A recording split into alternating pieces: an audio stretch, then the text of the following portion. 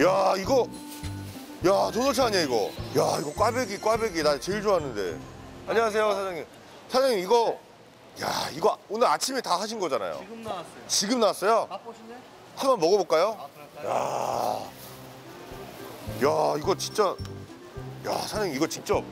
이거 보세요 이거. 와. 지금 바로 하신 거래 바로. 뜨끈뜨끈해. 자 우리 의정부 제2시장의 꽈배기는 어떤 맛인지 제가 먹어보도록 하겠습니다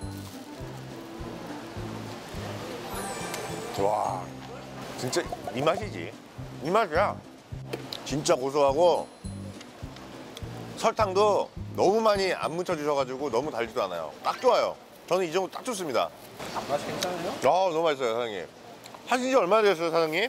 10년 넘었습니다. 10년 넘으셨어요 네. 이 자리에서 네. 아